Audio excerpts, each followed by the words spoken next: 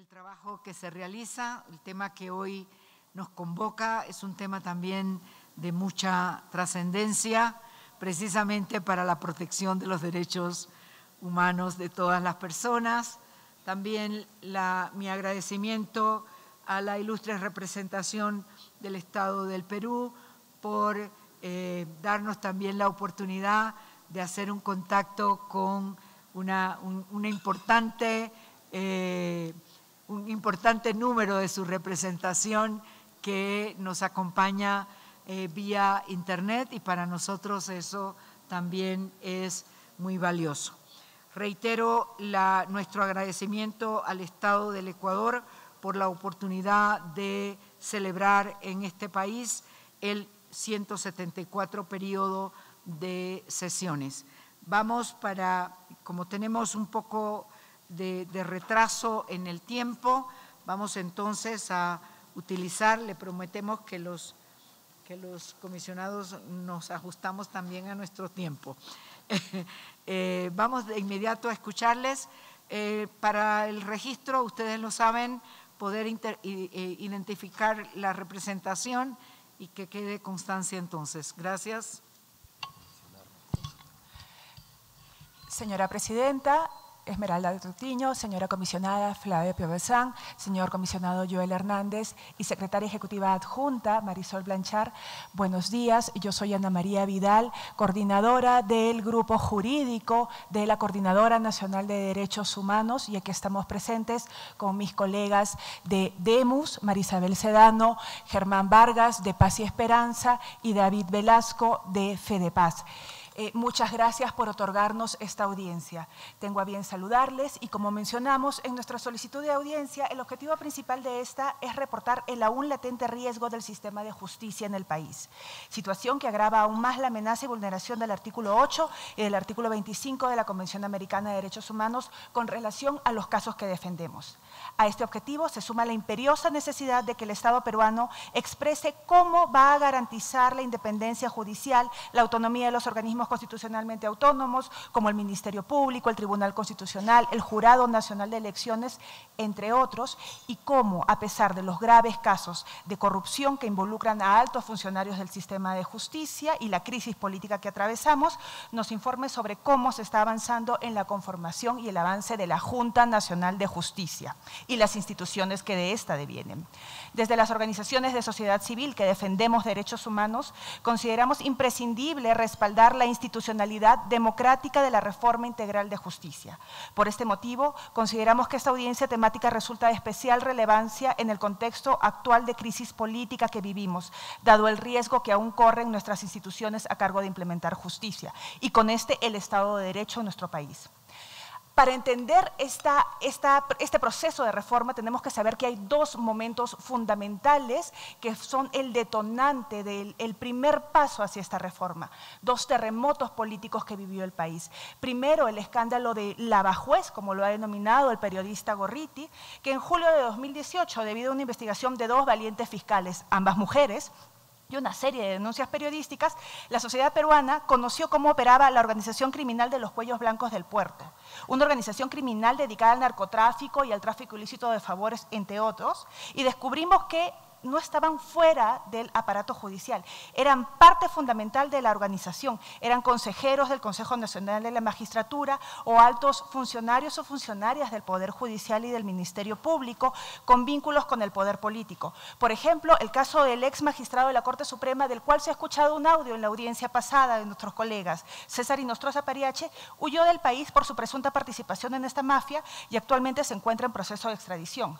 Además, los aún fiscales supremos, Pedro Gonzalo Chávarri, Tomás Saladino Galvez y Víctor Rodríguez Montesa, vienen siendo investigados por pertenecer a esta organización criminal y son aún parte fundamental del Ministerio Público. Están dentro de la, Junta de Fiscales Supremos. A esto se suma que en cada una de las cinco salas de la Corte Suprema habría un magistrado vinculado con, eh, con esta mafia. Actualmente este descubrimiento en 2018 de los graves casos de corrupción generó la disolución del Consejo Nacional de la Magistratura y fue el primer paso para impulsar este eh, esta reforma del sistema de justicia. Actualmente se viene realizando el proceso de evaluación para la conformación de esta Junta Nacional de Justicia, organismo que nombrará, ratificará y destituirá jueces y tendrá como misión la de nombrar al jefe de la Oficina Nacional de Procesos Electorales o al jefe de la RENIEC.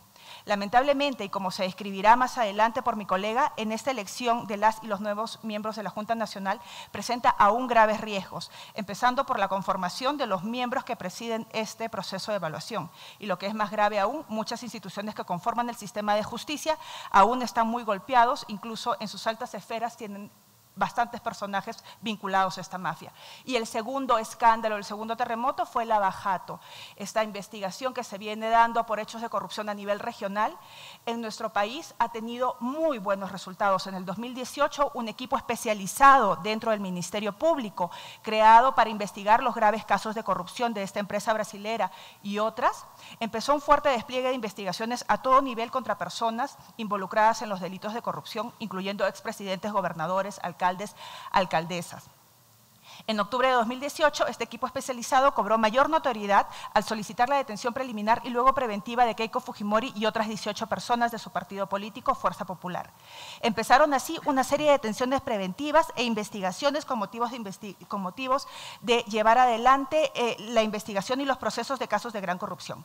Sin embargo, con el propósito contrapuesto de desarticular los avances de las investigaciones por corrupción y otros graves crímenes, el entonces fiscal de la Nación, Pedro Gonzalo Chávarri, el mismo que es investigado por pertenecer a la organización criminal de los Cuellos Blancos, anunció el 31 de diciembre a las 7 de la noche la intención de cambiar a este equipo de fiscales. El equipo de fiscales, junto con el respaldo de la ciudadanía, resistió este embate y sus integrantes aún permanecen en sus puestos, pero con grave riesgo de ser removido en sus puestos. Actualmente hay varios expresidentes de la República que se encuentran investigados o con mandato de detención preventiva tenemos a Alejandro Toledo, tenemos eh, eh, Ollanta Humala, Pedro Pablo Kuczynski, Keiko Sofía Fujimori, que fue ex candidata presidencial, Susana Villarán, ex alcaldesa de Lima. Estos casos de las altas autoridades investigadas por corrupción muestran una arista de cómo en el Perú sí se está avanzando en materia de lucha contra corrupción. Sin embargo, todavía hay altos funcionarios del sistema de justicia y en general de todas las instituciones, las cuales eh, vienen siendo investigadas por hechos de corrupción y son las que intentan frenar este avance podemos apreciar que estos dos terremotos que sacudieron el sistema de justicia peruano, tanto el de Lavajato como el de Lavajuez, no solo ha generado un proceso de reforma de justicia que aún se encuentra en situación de vulnerabilidad, como pasaremos a describir, sino que además se demostró cómo la corrupción estaba profundamente imbricada con el poder político. Y sí, estamos también en una crisis política, la cual ha devenido en el cierre constitucional del Congreso por parte del Poder Ejecutivo. Es decir, aún nos hemos mantenido por los cauces de la constitucionalidad. Desde el Movimiento de Derechos Humanos esta crisis política del sistema de justicia nos afecta directamente, no solo porque la democracia y el Estado constitucional de derechos son imprescindibles para la defensa de los derechos humanos, sino porque además ha quedado evidenciado como muchos de los casos que litigamos no solo no avanzan debido a la escasez de recursos económicos en el sistema de justicia y la falta de enfoques de derechos, sino que no avanzan porque muchos de los operadores encargados de impartir justicia estaban vinculados con la corrupción, ya sea con la mafia de los cuellos blancos del puerto, los guachiturros, los temerarios de Tumán y tantas más. Estos nombres los pone la Policía Nacional del Perú. Y si los operadores de justicia no estaban ligados a estas mafias, todos estos cambios, estas barreras que generan las mafias en el sistema de justicia y en el poder político, hacen que el acceso a la justicia se siga dilatando sobre todo para los casos del conflicto armado interno, de la violencia contra las mujeres, como el caso de Arlet Contreras, que se encuentra acá presente, o de las personas LGTBI, como el caso de Azul Rojas Marín, que aún no encuentra eh, que aún no encuentra justicia. Por esto, señoras y señores del honorable CIDH, le reiteramos acá y de manera pública a nuestro Estado peruano que las invite a hacer un seguimiento del proceso de reforma. Paso a mi colega Germán, Germán Vargas de Paz y Esperanza. Gracias. Vamos a hacer este, referencia a la situación actual de instituciones del sistema de justicia en el Perú. Y me toca a mí hacer una mención sobre la Junta Nacional de Justicia. Con la institución de todos los miembros del Consejo Nacional de la Magistratura en el año 2018, el presidente del Perú, Martín Vizcarra, remitió al Congreso una propuesta de reforma de la Constitución Política, la cual eliminaba el sistema de representación para la elección de los, consejeros del Consejo Nacional de Magistratura, reemplazándolo por un, por uno, por un concurso público de mérito. El 18, 18 de septiembre de 2018, el Congreso aprobó la reforma constitucional del Consejo Nacional de la Magistratura.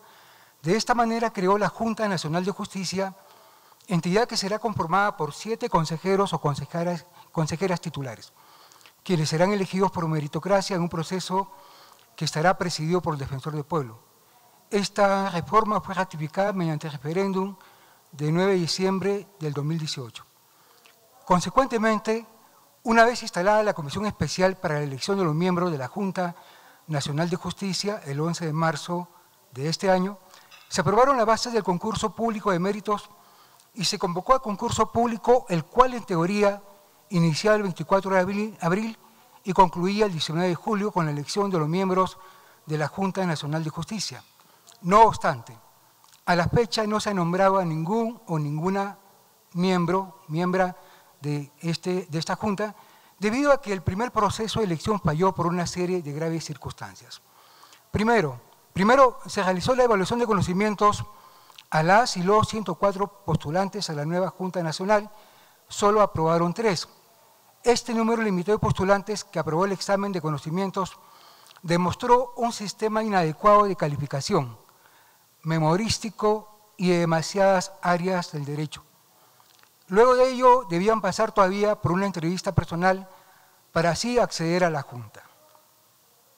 La Junta Nacional de Justicia necesita 14 miembros, 7 titulares y 7 suplentes para funcionar adecuadamente.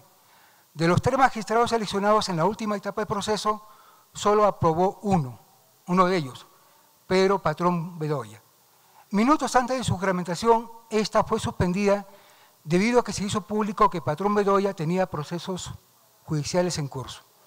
De esta manera se evidenció el pésimo trabajo de selección realizado por la Comisión Especial, la cual está presidida por el Defensor del Pueblo, lo cual afectó de manera significativa la reforma del sistema de justicia en el Perú.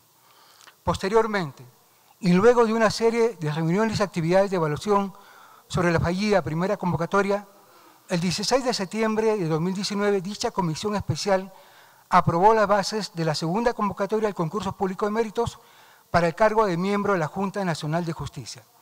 En esta nueva convocatoria se dispuso que la evaluación de conocimientos será el 3 de noviembre de este año, ha sido el 3 de noviembre de este año, además del 5 al 11 de noviembre se programó una evaluación curricular para posteriormente realizar las pruebas de confianza del 2 al 6 de diciembre. Las entrevistas personales serán del 26 al 29 de diciembre para finalmente publicar el cuadro de méritos el 30 de diciembre del presente año. La juramentación de los nuevos miembros de la Junta Nacional de Justicia está prevista para el 6 de enero del año 2020, con lo que se quedaría cerrado el proceso. Hasta esa fecha no habrá un solo miembro nombrado para ser parte de la Junta Nacional de Justicia.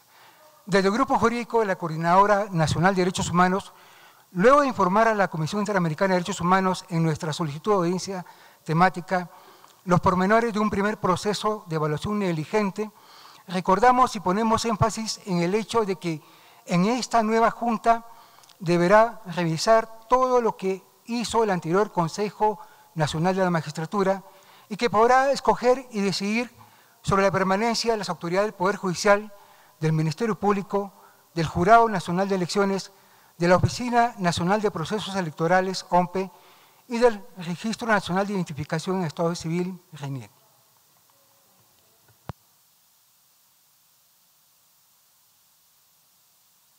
Miembros de la comisión, ¿no?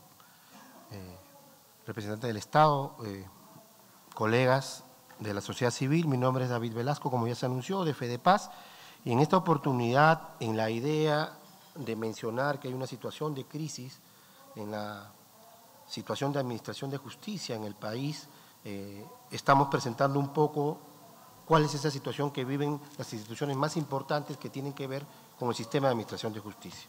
Y cómo no, es muy importante, como en muchos otros países, cuál es la situación que vive nuestro máximo órgano de interpretación de la Constitución, denominado en nuestro país Tribunal Constitucional.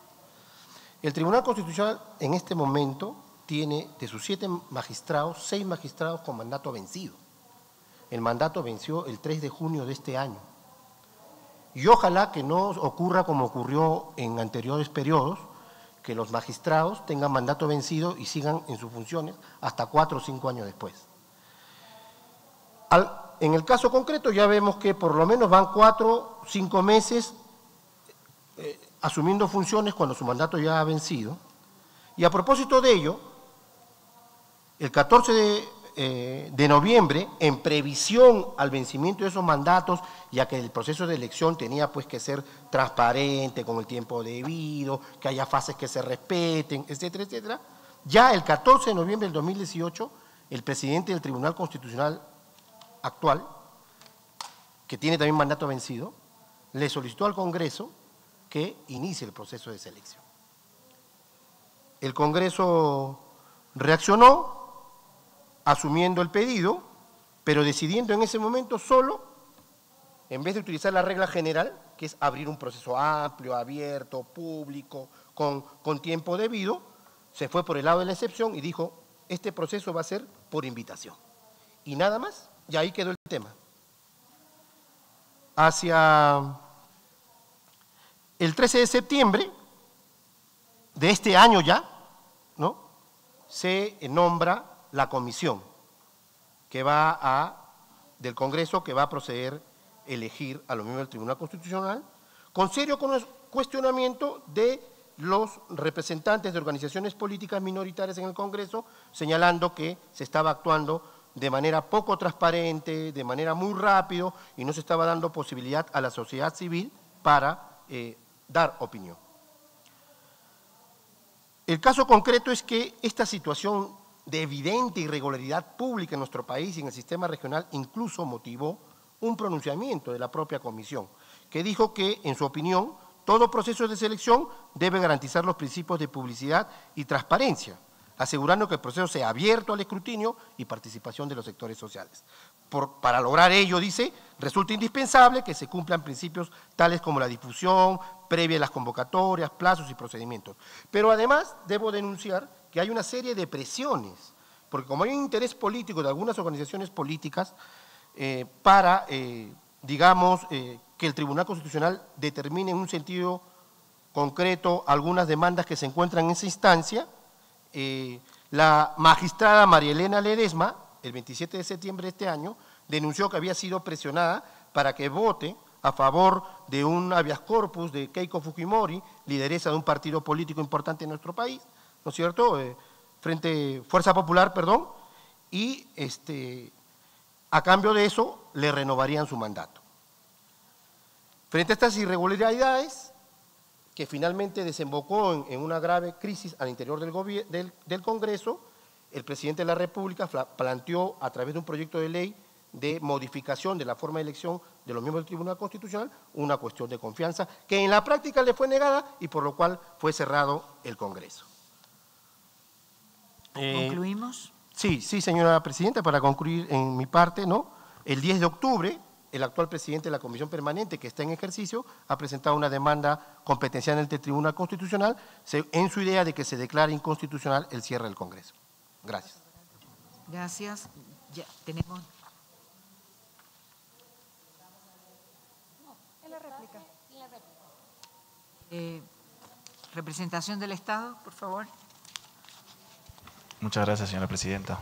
El saludo al comisionado Joel Hernández y a la comisionada Pío Besián, igual a la secretaria ejecutiva junta Marisol Blanchard y a los solicitantes representantes de organizaciones de la sociedad civil de Perú. Me acompaña en esta mesa Jessica Fonseca, el representante alterna de la misión de Perú ante la OEA, César Pajuelo, abogado de la Procuraduría Pública Especializada Supranacional, yo soy Carlos Reaño, Procurador Público Especializado Supranacional.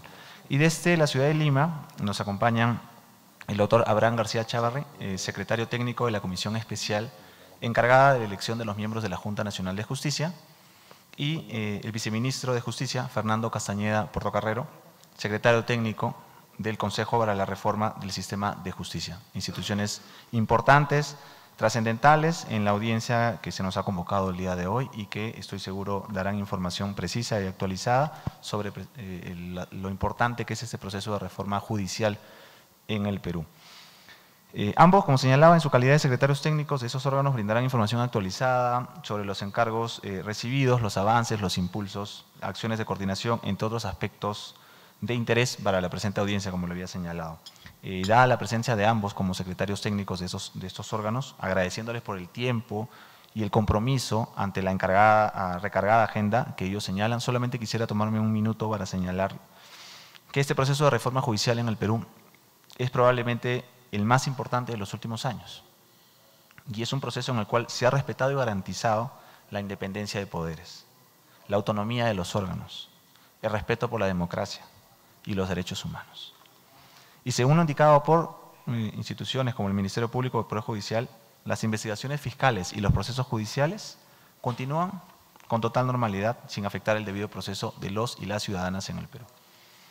Doy pase a la ciudad de Lima para que eh, ambos secretarios técnicos tengan a bien hacer sus comentarios. Muchas gracias. Por favor.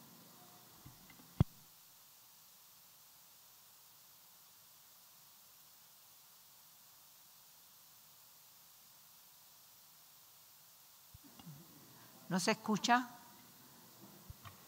Eh, no se escucha, por favor, un minuto para... A ver, si ahora podían probar. Gracias.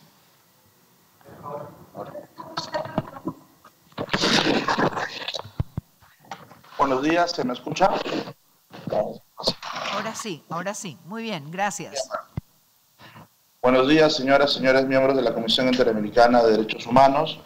Soy Abraham García Chávarri, secretario técnico de la Comisión Especial a cargo del concurso público de méritos para la elección de los miembros de la Junta Nacional de Justicia. Y he sido convocado para poder ofrecerles el estado de la cuestión de eh, trabajo de la Comisión Especial respecto del concurso público que buscará eh, conseguir aquellos siete miembros titulares y siete miembros suplentes que integren la Junta Nacional de Justicia, importante organismo constitucionalmente autónomo, reformado por la Constitución y que va a determinar, como ya se ha señalado, eh, ser el organismo constitucional encargado del nombramiento, procedimiento disciplinario, ratificación de jueces y fiscales de todos los niveles, así como el nombramiento de las autoridades vinculadas con el sistema electoral, el Registro Nacional de Identificación, Estado Civil y la Oficina Nacional de Procesos Electorales. La comisión especial fue creada mediante reforma constitucional y está integrada por el defensor del pueblo que lo preside el presidente del Poder Judicial, la fiscal de la Nación, el presidente del Tribunal Constitucional, el Contralor General de la República, un representante de las universidades nacionales licenciadas con más de 50 años, que es el rector de la Universidad Nacional de Ingeniería, y un representante de las universidades licenciadas privadas con más de 50 años, que es el rector de la Universidad de Piura. Actualmente, la Comisión Especial viene desarrollando la segunda convocatoria al concurso público de méritos. Estamos ya en la etapa, precisamente hoy día se tienen que presentar los resultados de la evaluación curricular. Es la tercera etapa del concurso.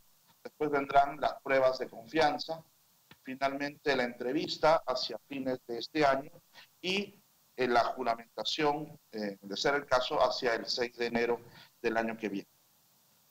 Es importante señalar que eh, la ley orgánica de la Junta Nacional de, Justicia es la que ha establecido seis etapas con un desarrollo y detalle bastante eh, reglamentario ¿no? respecto de las actividades de la Comisión Especial. Son etapas fijas que no pueden ser cambiadas y que inclusive muchos de los rubros de calificación de cada una de esas etapas están ya previstas legalmente. El jueves 16 de septiembre del 2019 se publicaron las bases para esta segunda convocatoria, que tuvieron como resultado el que 121 personas, abogados y abogadas, eh, decidieran postularse para eh, ser miembros de la de Justicia.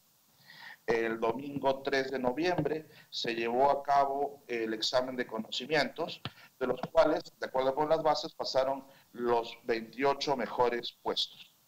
Hubo un empate en el último, eh, eh, en, el en el puesto número 28, pasaron en realidad 29 personas, 29 abogados y abogadas, que van a ser objeto de una evaluación curricular que precisamente, como les digo, se publica hoy día en los resultados. Respecto de los aspectos reformulados en relación con las bases de la primera convocatoria, la comisión eh, estimó conveniente hacer algunos eh, ajustes respecto de las bases de la primera convocatoria y para este propósito eh, recibió la opinión y sugerencias de distintas personas y expertos vinculados con el sistema de impartición de justicia. Es más, cuenta también con la asistencia técnica de la Autoridad Nacional del Servicio Civil, que es la entidad peruana encargada de la selección de personal de altos funcionarios. En este sentido, recibiendo el apoyo y los aportes de diferentes personas y personalidades de la sociedad civil que eh, fueron convocadas por la Comisión Especial y que también presentaron documentaciones escritas con observaciones y comentarios, es que se estableció unas nuevas bases con eh, algunos elementos que permitieron, ¿no? o que permitirán poder eh, contar con los objetivos que la Comisión busca, que es la selección de aquellas siete personas para que sean miembros de la Junta. En ese sentido, se hizo mucho énfasis en el perfil del puesto y sobre la base de ese perfil se diseñó, se diseñó una evaluación de conocimientos. Como se ha señalado, la evaluación de conocimientos ahora giró sobre la base de un examen eh, práctico, un caso práctico, que en este caso fue uno de materia de derecho disciplinario con el derecho constitucional, ya que una de las principales, podemos decir, la, la, principal labor de los miembros de la Junta va a ser establecer el, los, eh, el sistema de nombramiento y de ratificación y el sistema disciplinario de jueces y fiscales. Sobre esa base se estableció un examen de conocimientos que permitió a estas 120 personas poder hacer una exposición en materia de su competencia y poder ser evaluados sobre la base de una rúbrica de evaluación para garantizar la objetividad de eh, ese examen. Las actividades eh, respecto del tipo de actividades que se han desarrollado para publicitar la convocatoria, deseo informar también que para esta segunda convocatoria hubo una convocatoria, valga la redundancia, de la sociedad civil. Se hizo una campaña muy interesante que permitió inclusive que haya un mayor número de postulantes respecto del primer concurso. La comisión viene trabajando con la tarea eh, y el objetivo de poder eh, desarrollar las diferentes etapas previstas legalmente y contar hacia enero con los miembros titulares y suplentes de la Junta Nacional de Justicia. Muchas gracias.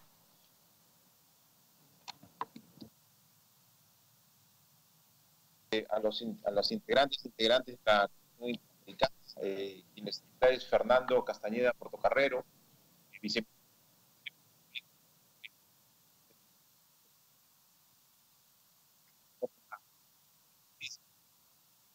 quería, quería eh, brindar algunos elementos en relación al funcionamiento del Consejo para la Reforma, el, como parte de justamente del contexto eh, de corrupción y los problemas en el sistema de justicia, se tomó la decisión de, eh, como Poder Ejecutivo, de presentar un proyecto de ley ante el Congreso de la República con la finalidad de generar un espacio permanente, sin fecha de caducidad, eh, para que nuestro país cuente con un mecanismo de impulso permanente de la reforma del sistema de justicia. Este mecanismo, como les menciono, está integrado por todos los eh, titulares que integran las instituciones del sistema de justicia y eh, no tiene una fecha de, cierre, es decir, eh, tiene por mandato legal el impulsar y promover la reforma y modernización del sistema de justicia de forma permanente. Actualmente se han realizado ya cinco sesiones ordinarias, 17 sesiones del Consejo Técnico, el Consejo Técnico son todos los representantes de las instituciones del sistema de justicia que acreditan oficialmente hasta tres representantes, un titular y dos alternos, con finalidad de poder aportar desde las experticias y competencias de las instituciones del sistema de justicia eh, lo que eh, se considere en materia de reforma del sistema de justicia. Además, el Consejo para la Reforma eh, viene desplegando foros regionales, es decir, con la finalidad de poder eh, incentivar que la población participe y las principales autoridades fuera de Lima, con la finalidad de, poder enriquecer el plan de reforma. Eh, hemos estado en, la zona norte y en la zona sur y próximamente estaremos en Arequipa y en Iquitos con la finalidad de seguir generando la modernización y la reforma del sistema de justicia a nivel nacional. Además, eh, como Secretaría Técnica se han llevado a cabo 14 mesas temáticas con expertos de diversas instituciones públicas y privadas, porque obviamente hay temas eh, de especial relevancia que ameritan eh, la participación de personal y de funcionarios y de expertos privados especializados.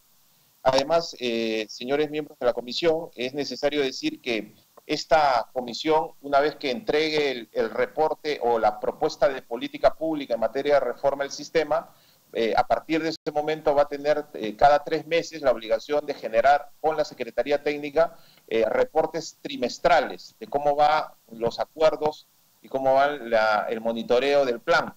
Además, por mandato de la ley, cada año tiene que realizar un informe anual de la justicia justamente con la finalidad de poder ir avanzando en el impulso en y el reimpulso de la reforma de forma permanente.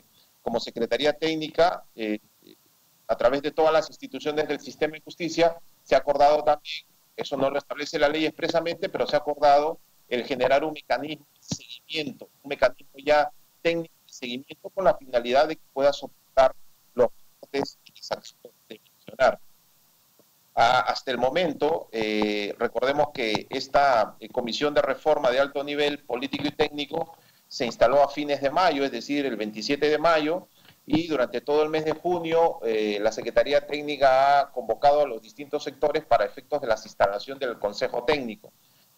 a partir del mes de julio es que han empezado los trabajos para poder empezar a generar toda esta metodología y esta dinámica nacional de propuestas de reforma del sistema y eh, plan que está formulando tiene medidas corto, mediano y largo plazo, medidas con dinero del presupuesto público y sin dinero, y además se han ocupado las propuestas en 10 ejes eh, que les menciono rápidamente. El primer eje tiene que ver con un problema histórico del sistema, que es la falta de información a profundidad o de calidad del sistema de justicia, es decir, la generación de, de información estadística y de evidencia y de, y de impacto para las decisiones. El segundo eje tiene que ver con el acceso a la justicia y sobre todo enfocado en las dificultades que tienen los diversos grupos vulnerables para poder acceder al sistema de justicia.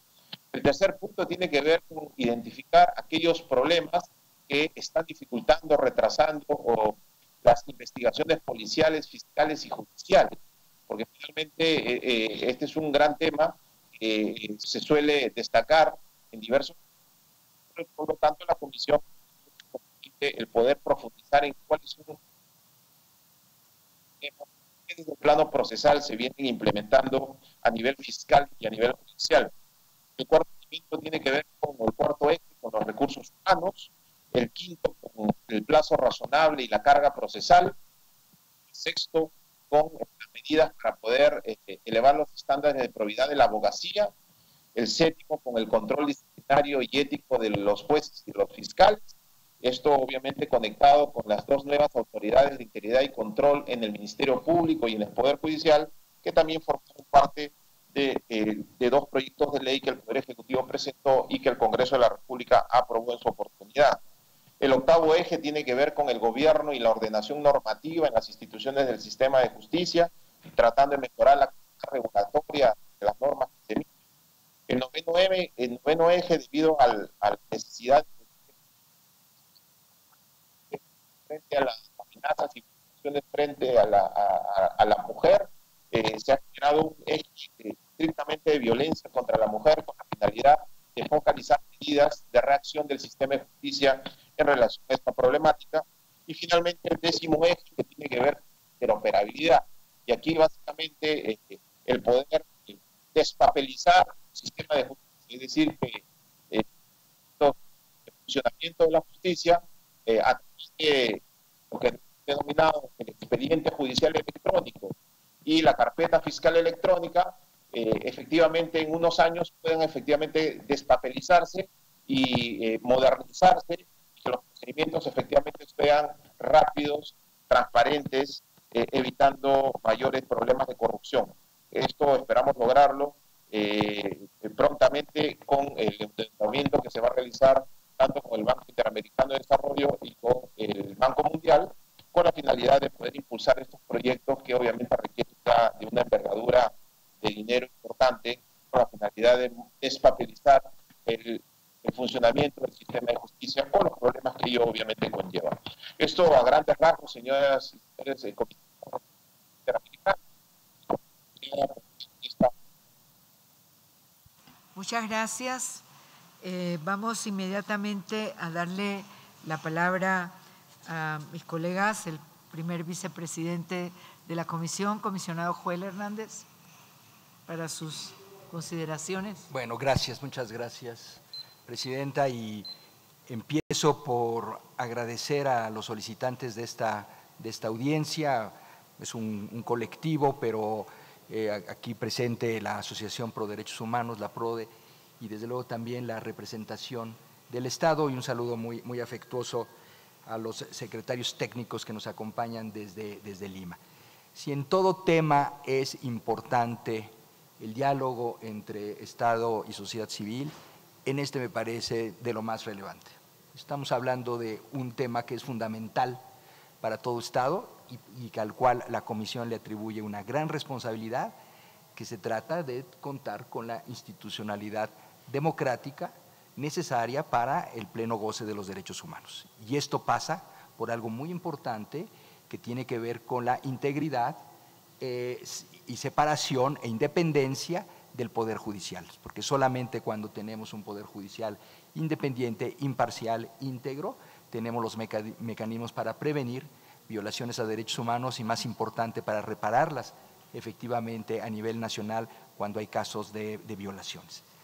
Hemos dado un puntual seguimiento a este proceso de reforma judicial en, Perú, no solamente para el tema del establecimiento de la eh, Junta Nacional de Justicia, sino también alrededor de temas muy recientes como el proceso de selección de seis magistrados del, Tribunal eh, Constitucional. Ya el 26 de septiembre de, este año, recientemente, eh, urgimos al Estado de Perú por la transparencia en el proceso de selección. Hicimos un llamado a garantizar la, independencia. Y seguimos con atención los desarrollos eh, posteriores alrededor de este tema. Aquí yo también creo que es muy importante destacar el rol que ha tomado, la, responsabilidad que ha tomado el presidente Vizcarra en impulsar una reforma judicial empezando por el 18 de septiembre de, 2018, eh, cuando a iniciativa del presidente, el Congreso de la República aprobó la reforma constitucional. Y los hechos posteriores que se dieron apenas recientemente eh, alrededor precisamente de la integración del eh, Tribunal Constitucional. Em, ya en una, en una ocasión anterior tuve el gusto de, mm, tener una reunión en Lima con el viceministro de Justicia. Eh, lo saludo con mucho afecto aquí al, doctor eh, Fernando Castañeda Portocarrero. Hablamos de este tema y en aquella oportunidad le, ofrecimos el seguimiento, el acompañamiento que pueda hacer la Comisión Interamericana a este proceso. Lo hemos escuchado ahora de los solicitantes y, y aprovechamos una vez más eh, para eh, ofrecer este acompañamiento, porque en el, lo que queremos nosotros es que este proceso de establecimiento de la Junta Nacional de Justicia llegue a buen puerto y que efectivamente esté integrada por 14 miembros que gocen del mayor eh, nivel de competencia, de integridad, de imparcialidad, de independencia. Esta es la piedra angular de lo que será un nuevo poder judicial en el, Perú que tiene que precisamente fortalecerse para poder eh, em, servir mejor a la justicia. Em, me queda de la, de, la, de la, presentación que han hecho tanto solicitantes como el Estado, alguna, algunas dudas para entender con, con cabalidad. Eh, en primer lugar, me, me, cuesta un poquito trabajo de entender cómo existiendo eh, algunos procesos de investigación en contra de, de, de, fiscales, operadores de justicia, estos sigan este, fun funcionando. No sé si la, normatividad peruana lo permite o si debiera haber alguna medida de separación de las funciones para que eh, no hubiese ningún indicio de contaminación de los, de los procesos. En, en, en, en, concreto, lo que nosotros quisiéramos ver mientras avanzamos en este proceso de, de reforma judicial es que las propias autoridades del, del Poder Judicial sean eh, eh, consistentes con este compromiso de combate a la, a la corrupción. Tiene que haber una coherencia de todos los operadores de justicia con el combate a la, este, a la, corrupción. En segundo lugar, también a mí me gustaría saber eh, cuál es el, el, estado que guarda los procesos de nombramiento de magistrados mientras se establece la Junta Nacional de Justicia. Porque me llama mucho, mucho la atención de que hay mandatos ya concluidos entonces, ¿cuál es la base jurídica para, para extender estos, estos mandatos? A mí en lo personal me, me, causa una inquietud de saber que no hay una base jurídica suficiente hoy para poder avanzar en, en la renovación de, de, de, de cuadros y, el, y, en general de avanzar en, el, en, en una reforma judicial de fondo que, le dé al Poder Judicial de Perú una integridad. Me ha sido muy útil toda la información que hemos recibido, sobre todo del secretario eh, García, que en cuanto al establecimiento de la, de la, Junta Nacional de Justicia. Hemos tomado nota de que hay un plazo establecido para eh, su pleno funcionamiento el 6 de enero de, de 2020 eh, ya estamos a poco, a poco tiempo y hacemos un, una vez más un, eh, una, una, invitación a que este proceso pueda concluirse de manera efectiva y que sea un buen, buen eh, comienzo para una reforma judicial de fondo. Gracias, Presidenta. Gracias, comisionado. Comisionada Flavia. Buenos días a todas y a todos. Muchas gracias, señora Presidenta. Um, Eu peço também expressando a gratidão e o reconhecimento por la importância desta audiência pública, por dois temas: o tema de centro, de centralidade, independência judicial. Todos os estándares interamericanos enfatizam que sem a independência judicial não há Estado de Direito, tampouco há o direito a um remédio efetivo em caso de violação de direitos humanos, e, además, também o tema da corrupção. Não? Ano passado, a primeira resolução da comissão foi justamente corrupção e direitos humanos, como a corrupção é uma violação de direitos humanos por si, em si, pero também implica em violações de outros direitos. Ah, então, temos incluso um informe sobre o tema, estaremos aprovando um informe regional sobre o tema corrupção e direitos humanos e, tenemos, e temos um, um informe sobre as garantias para a independência de las e de los operadores de justiça, fortalecimento de acesso à justiça, Estado de Direito, ou seja, há estándares muito refinados sobre o tema de la transparência, publicidade, integridade, independência judicial e justamente para impedir a ingerência indevida. Eu tenho três preocupações. A primeira com a corrupção. Volvo ao tema do comissionado relator país, comissionado Roel, sobre os atos de corrupção, ¿no? que justamente generaram como resposta a la reforma substancial do sistema de justiça. Atos de corrupção, especialmente em delitos relacionados com tráfico de influência. Ah, me gostaria uma aclaração aqui a como o Estado está a impulsar o dever de investigar, processar, punir e reparar estes atos de corrupção que, por sua gravidade afetam o el sistema de justicia, o a la credibilidad, la integridad. Entonces, minha primeira preocupação a segunda preocupação tem a ver justamente com o que planteava a sociedade civil com relação à institucionalidade do Tribunal Constitucional.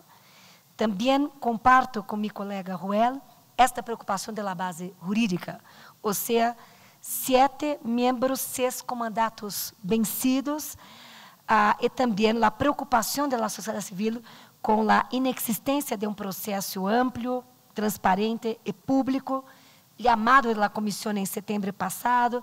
Então, me gostaria ah, conhecer as medidas do Estado para garantizar a integridade, a institucionalidade do Tribunal Constitucional como este órgão de, de cúpula no, do Poder Judicial. E para a sociedade civil, eu tenho também um pedido de aclaração.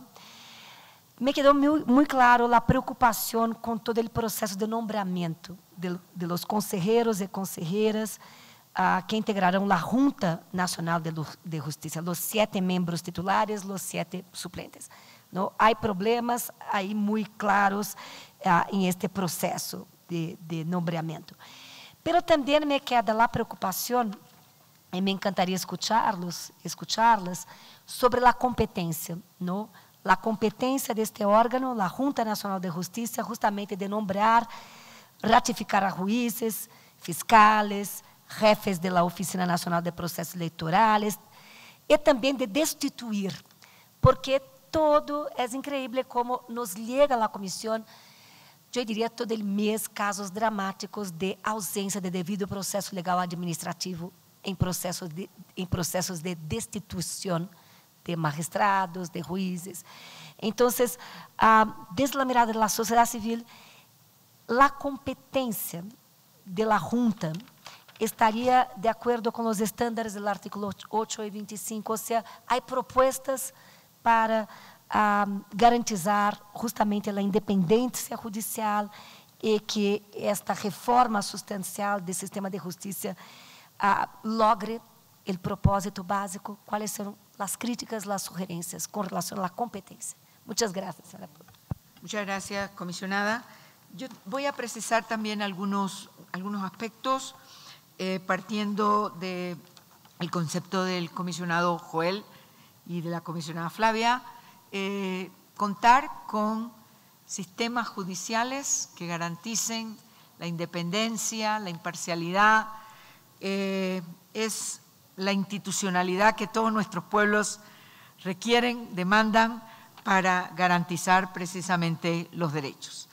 Entonces, partiendo de la trascendencia que tiene el tema de una reforma judicial y que yo evalúo con, como una herramienta muy válida, es una herramienta muy importante, es el reconocimiento de la necesidad de contar con un sistema judicial con todas estas características y basado, decía la comisionada Flavia, si eh, eh, están en, la propia propuesta de la reforma eh, contemplados los estándares interamericanos. Nosotros tenemos informes en esta materia, reconociendo aspectos fundamentales para su procedencia. Entonces, que un país cuente con la posibilidad de una reforma sustancial con base constitucional eh, eh, coloca a, esta institución en una posición de, eh, importante para obtener precisamente eso que la sociedad demanda, que es imparcialidad, etcétera, y los principios.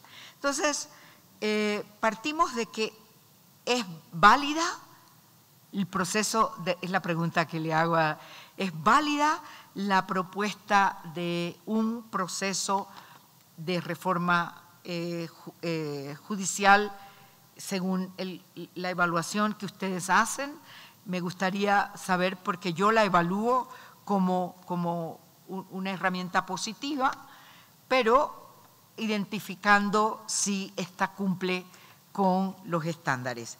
Y el otro aspecto que quisiera tener claro un poco, endoso lo que han planteado mis, mis colegas de, manera total, pero, pero tengo una, una duda con eh, la explicación que se nos hace sobre una, una propuesta de ley, no sé si está en propuesta o ya está aprobada esta ley para crear una eh, una entidad, es lo que tengo eh, en, duda, eh, que, vigile de manera permanente los procesos del sistema judicial. Y creándose allí una institucionalidad que quisiera verificar si no se contrapone con la propuesta de la Junta Nacional de Justicia. Sé que esta tiene un propósito de eh, la selección de altas autoridades, no solo es la de los jueces y magistrados, también otras, otros, otros cargos, cargos importantes, eh, porque eh, se nos explicaba que para un impulso permanente en el mejoramiento del sistema, la modernización, eso no le tocaría a esta Junta Nacional de Justicia, que reemplaza al Consejo Nacional de la Judicatura, ¿verdad? Entonces, porque la organización de los sistemas de justicia, el Consejo de la, Judicatura tiene esta responsabilidad de un monitoreo permanente del mejoramiento de los sistemas. Y, quisiera saber si esto no, se contrapone porque a esta otra unidad que es la que va a encargarse de los informes anuales de justicia, eh, va a estar produciendo información permanente de eh, las quejas que en acceso a la justicia hay. Entonces, me gustaría tener esa, esa claridad para, para ver si corresponde a una estructura que eh, esté vinculada o esté sustentada precisamente en los estándares interamericanos. Y el acompañamiento que también eh, ofrezco para eh, este proceso que, si bien ya está en una parte final, no, es porque eh, si, si, hay una nueva convocatoria, porque la primera no funcionó, parece, no funcionó la primera, estamos en la segunda, ya con exámenes de 28 personas que alcanzaron la, pasar, como quien dice, la primera, la primera prueba, eh, para ver si podemos hacer un acompañamiento y la valoración que esto efectivamente tiene, tanto para la sociedad civil, pero particularmente también para el Estado, eh, garantizar que este muy buen espacio que es las reformas judiciales que se requieren se alcance de una manera eficiente, efectiva y que todas las partes estén eh, eh, respaldando esta, esta iniciativa. Entonces, le voy, a, dar la palabra a la sociedad civil para su intervención. Son siete minutos. Yo se los voy a cortar a cinco porque tenemos ya la, siguiente para precisar. Saben, ustedes pueden eh, remitir toda información posteriormente. Señoras comisionadas, señor comisionado, estamos aquí como sociedad civil de derechos humanos y feministas seriamente preocupadas por este proceso de reforma de justicia, debido a que cómo puede garantizarse la independencia de, la reforma del sistema de justicia si quienes están llevándolo a cabo están involucrados en casos, están siendo investigados. El presidente del Poder Judicial, José Lecaros, también está cuestionado, está, es parte también de procesos de investigación. O sea, la Junta de Fiscales son cinco fiscales supremos, de los cuales tres fiscales supremos también están cuestionados, investigados. La sociedad civil, la ciudadanía, tenemos que estar permanentemente en las calles para evitar la captura y la permanencia de la corrupción y de la injerencia política en nuestro sistema de justicia. El Tribunal Constitucional, ¿acaso no es de conocimiento público que el señor Blume, el señor Ferrero, el señor Sardón obedecen a fuerza popular más que a los estándares internacionales de derechos humanos, el señor Sardón, en el caso de esterilizaciones forzadas, no ha dicho expresamente y ante todo el mundo que si Argentina puede dejar de obedecer una sentencia de la Corte Interamericana, ¿por qué tendría él que hacer caso al asa de Mamérita Mestanza en el caso de esterilización forzada? Y eso está televisado. Entonces, estamos aquí porque queremos que la comisión efectivamente siga haciendo el acompañamiento y además pueda dar recomendaciones muy concretas. Quien está investigado por corrupción o por cualquier otro delito debería inhibirse, no debería ser parte para que estemos hablando de una reforma de justicia de verdad. Sí, a ver, desde sociedad civil sí consideramos válida la reforma del sistema eh, de justicia. Y no solo válida, necesaria. Se ha demostrado que el sistema estaba totalmente corrompido. Pero necesitamos que todas estas piezas importantísimas e imprescindibles estén funcionando bien. Y como mencionaba mi colega, por ejemplo, el presidente Lecaros preside o conforma la comisión especial para elegir la Junta Nacional de Justicia. ¿Cómo va a ser eso? Tiene que inhibirse. Hay serios personajes cuestionados que están conformando estas reorganizaciones para la reforma del sistema de justicia. Consideramos que sí, el Consejo para la Reforma de Justicia sí eh, calza y podría ser muy bueno para avanzar en este proceso de reforma judicial y no se contrapone con la Junta Nacional de Justicia. Pero si también en su eh, comisión va a tener a gente cuestionada, como el señor Lecaros o como otras personas, ¿de qué estamos hablando? Este proceso, lamentamos decir, para nosotros no avanza con normalidad, como se ha señalado. Entonces sí necesitamos, estamos muy preocupados para que avance con esa normalidad. Por ejemplo, en la Comisión de Reforma de Justicia hay determinadas cosas que todavía no están funcionando bien. La Comisión Especial para hacer el seguimiento, la Comisión Técnica, por ejemplo, tienen su mandato que deben estar los representantes de las rondas campesinas, solo por poner un ejemplo. Y hasta ahora no se deciden cómo, quién debe estar, eh, no lo tienen claro. Y, por ejemplo, no está contemplada la participación de sociedad civil en la Comisión Técnica para esta para este Consejo de Reforma de Justicia. Entonces, no solo hay cuestionamientos de personas que deberían salir de plano, como el señor Lecaros, sino también hay que perfeccionar este proceso de reforma que no solo termina con la elección de la Junta Nacional de Justicia, sino que es mucho más amplia y abarca mucho más tiempo y necesitamos, reiteramos nuevamente que por favor estén y que los invite el Estado peruano, le hacemos ese pedido, esa exigencia a nuestro Estado.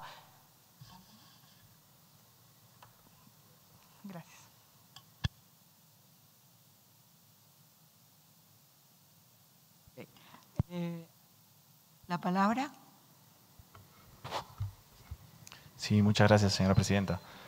Eh, definitivamente es, importante e interesante las preguntas que hacen los comisionados, comisionadas, porque eh, priorizan y focalizan algunas dudas que podrían existir dentro del proceso de reforma. ¿no? Y estamos seguros, al igual que sociedad civil, que el proceso de reforma es un proceso puro, es un proceso válido, es un proceso interesante, es un proceso de los más importantes que tiene el Perú en, los últimos años, si no el más importante. Y definitivamente podrían haber algunas eh, situaciones o personas o funcionarios que puedan em,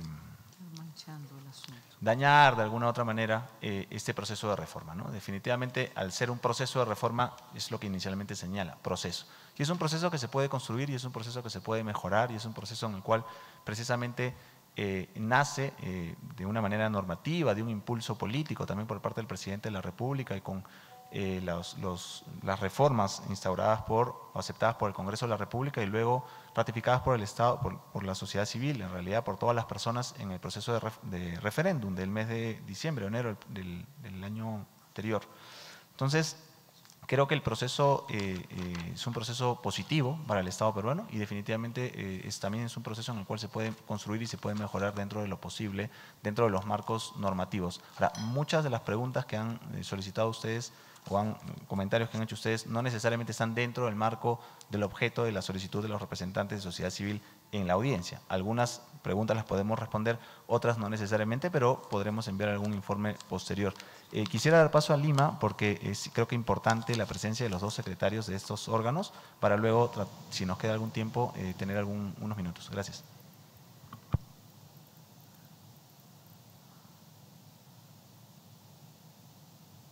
Muchas gracias por la... ¿Se escucha? Sí. sí. muchas gracias por, la, eh, por las inquietudes. Eh, algunas aclaraciones eh, en, la línea de lo, de lo sostenido en las, reflexiones de la mesa. lo primero que habría que distinguir es que el Consejo para la Reforma y la Junta Nacional de Justicia tienen finalidades distintas, no son institucionalidades que se crucen o que se superpongan. ¿Por qué? no solamente a nivel jurídico, sino también a nivel del mandato que tiene. El Consejo para la Reforma ha sido creado por ley 30.942, aprobada por el Congreso de la República, y básicamente tiene eh, el mandato de, generar una propuesta de política pública nacional. ¿Por qué esto es importante? Eh, es importante porque eh, desde el último gran proceso de reforma del sistema de justicia en nuestro país, que se encabezó a través de la Comisión Especial de Reforma del año 2002-2003, más conocida como Seriajus, eh, no ha habido otro gran eh, intento de poder impulsar y modernizar el sistema de justicia. Esto, en términos simples, ¿qué significa? Significa que cada institución del sistema ha emprendido la reforma por sí misma, es decir, con alcances individuales. No ha habido grandes proyectos que entrecrucen el funcionamiento del sistema como tal. Por eso es que este espacio sirve para plantear políticas que entrecruzan, porque hay que recordar que el sistema de justicia funciona en base a procesos y los procesos eh, interactúan con varias instituciones. Lo que ha venido ocurriendo históricamente es que cada institución ha emprendido su proceso de reforma de forma individual, a pesar de que habían procesos que no dependían exclusivamente de la institución. Por ejemplo, el caso que les menciono del expediente judicial electrónico o de la carpeta fiscal electrónica son megaprocesos administrativos y de gestión tecnológica que sí o sí requieren de la participación de todos. No hay forma como una institución pueda impulsar cada proyecto por sí mismo, para poner solamente un ejemplo. Segundo lugar, el Consejo para la Reforma no entra ni entrará ni tiene el mandato de entrar porque no es su naturaleza a casos concretos. Lo que hace es generar políticas nacionales con acciones concretas para mejorar la modernización del sistema. En tercer lugar, eh, las decisiones que se adoptan en el Consejo son por consenso. Eso fue debatido entre los titulares y ese ha sido el criterio que se ha adoptado porque la idea es avanzar como Estado, no avanzar individualmente, sino como un conjunto de instituciones que forman parte del Estado peruano y además la presidencia rotativa. Es decir, que cada año los titulares se van a poner de acuerdo quién va a ejercer la presidencia por un año con su respectiva secretaría técnica. Entonces, estos son los elementos básicos del Consejo para la Reforma, cuál es su mandato y su límite. La Junta Nacional de Justicia es lo que reemplaza al denominado Consejo Nacional de la Magistratura. Es el órgano que por la Constitución está encargado del nombramiento, la selección, la ratificación, la destitución de los jueces y fiscales a nivel nacional. Ese es su mandato concreto. Este, esta Junta Nacional de Justicia ha sido aprobada por una reforma a la Constitución que ha sido sometida a un referéndum nacional. Esa es la base normativa constitucional que tiene la Junta Nacional de Justicia. Y, como, y esto está conectado justo con la preocupación que se mencionaba en la mesa de qué es lo que está ocurriendo con aquellos procedimientos disciplinarios y cómo así algunos jueces o magistrados que están sometidos a estos procedimientos todavía no pueden ser evaluados sus casos. Sí, pues como ha habido un cambio de modelo constitucional y la Junta Nacional de Justicia es el órgano encargado de evaluar estos casos, esta Junta todavía no ha sido conformada.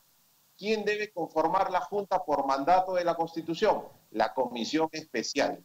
La Comisión Especial lleva a cabo el procedimiento de selección de los siete integrantes de la Junta Nacional de Justicia. eh, como ha mencionado el secretario técnico, en enero de este año, tiene proyectado completar la conformación de la Junta Nacional del procedimiento que se está llevando a cabo por estos días, con estas fases que son públicas. Entonces, a partir de enero de este año, con la Junta conformada, ya se van a poder ver las destituciones que estaban suspendidas, los procedimientos disciplinarios que están estacionados ahí en el proveniente del anterior Consejo Nacional de la Magistratura o cualquier otro elemento que tenga que ver con la conducta ética y profesional de los magistrados y de los jueces a nivel nacional. Finalmente, porque me están marcando un tiempo acá, eh, en materia de transparencia, solamente eh, mencionarles la total disponibilidad de, poder generar la mayor cantidad de mecanismos de transparencia. Nosotros en el Poder Ejecutivo creemos en la transparencia, estamos en el año de lucha contra la corrupción, tenemos un plan nacional anticorrupción y muchos mecanismos de transparencia. Incluso se está generando a través de la Secretaría de Integridad una plataforma para poder conocer ampliamente quiénes son los candidatos que van a presentarse en la, en la elección que se vaya a cabo en enero. Pero además desde el Consejo Técnico y el Consejo para la Reforma eh, ya se aprobó la la web, una hoja informativa, subir toda la información que se está produciendo a nivel del Consejo para la Reforma y del Consejo Técnico y en, esa, en ese instrumento eh, incluir un buzón de consultas que ya está aprobado con la finalidad de potenciar la participación ciudadana de todo aquel que quiera aportar con la reforma del sistema de justicia. Bueno, me ha pedido un minuto, un minuto la parte, los peticionarios y un minuto el Estado. Y el comisionado Joel, como relator, también me ha pedido un minuto para ver si concentramos eh, por favor, tenemos la, siguiente audiencia, pero eh, un minuto. Solo para terminar, que sí, nos preocupa que sean estas decisiones que se toman por consenso, que en el consenso estén involucradas personas cuestionadas no solo por la opinión pública, sino hasta por su propio sindicato, como en el caso de la Defensoría del Pueblo. Y el día de ayer ha salido la denuncia del equipo de fiscales, este equipo de fiscales que ha avanzado en las investigaciones de Lavajato, que nuevamente la Junta de Fiscales, de los tres fiscales eh, involucrados en la corrupción de la mafia y los cuellos blancos, Tomás Aladino Galvez, y, Raúl Montesa y demás los están nuevamente intentando sacar de su cargo. Es decir, los pocos avances y los avances que saludamos desde sociedad civil eh, se estarían nuevamente por tumbar y por sacar del, este, de, lo que se ha logrado. Gracias. Sí, solamente un, minuto. Eh, Conversábamos aquí precisamente sobre el compromiso de este proceso de reforma es al más alto nivel desde el presidente de la República, el anterior eh, ministro de Justicia, ahora primer ministro Vicente Ceballos y la actual ministra de Justicia Ana Teresa Revilla. Eh, adicionalmente, señalar que eh, se han abierto espacios sobre sociedad, con sociedad civil desde el Ministerio de Justicia, incluso desde la Secretaría Técnica del Consejo para la Reforma. La información que tenemos es que el 24 de octubre eh, se sostuvo una reunión con los representantes de diversas organizaciones de la sociedad civil en las cuales se expusieron los alcances de la labor que realiza precisamente el Consejo para la Reforma y personalmente yo estuve presente en una reunión el 5 de noviembre con muchos de los integrantes y las integrantes de sociedad civil, con la ministra de Justicia, Ana Teresa Revilla, en los cuales solicitaron sociedad civil una, un tiempo para expresarles cuáles son las preocupaciones y las indicaciones. Tomamos nota de ambas reuniones, tomamos nota de los eh, eh, consejos y las recomendaciones de sociedad civil y tomamos participación de la importancia que significa esta, este espacio. Gracias. Muchas gracias. Comisionado Joel.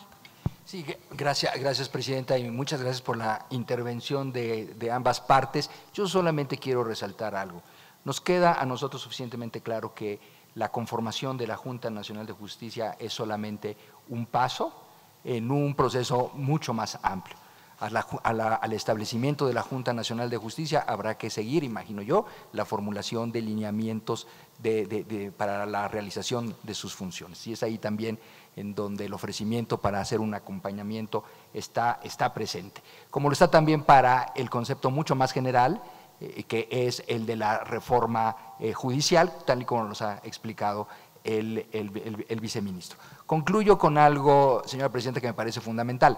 No, no quiero entrar al, detalle técnico de em, la base normativa para, para remover a operadores de justicia en funciones que están realizando eh, cuando estas personas están acusadas de algún delito de corrupción. Pero sí creo que está en ellos poder eh, eh, excusarse simplemente para mostrar un compromiso con el combate a la corrupción, pero también un compromiso con la integridad de su función. Hacemos este llamado a las partes concernidas para que también eh, den muestras de transparencia y, y coherencia con el combate a la corrupción. Gracias, Presidenta. Muchas gracias, comisionado. Muchas gracias a ambas partes. Realmente una audiencia que eh, por, su, por su alto interés de, todo el, de toda la región, esto en todos los países representa el compromiso para la efectividad de los derechos humanos. Muchas gracias y doy por terminada esta audiencia.